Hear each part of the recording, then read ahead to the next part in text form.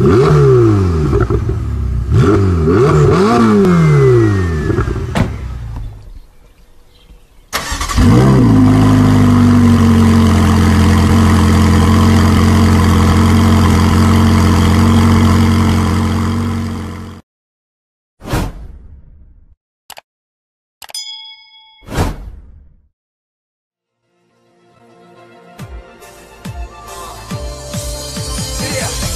you're feeling down, let the time fly away. So many times I've been here before, now I'm feeling alright. Don't need to try, just relax and take a deep breath, look inside to try and find.